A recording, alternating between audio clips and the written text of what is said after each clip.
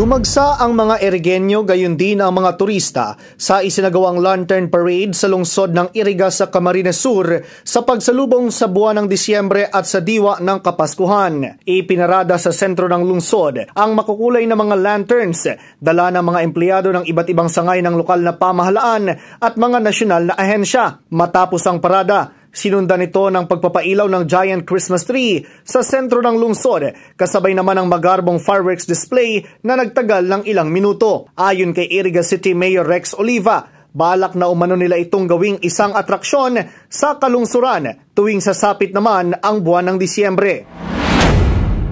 Gigibong na po na every December 1 ang na-kick off o ang napagpuon ka na Christmas with the Lantern Parade as we will make December 1 and ang Lantern Parade as tourism attraction sa Ciudad Cana Iriga.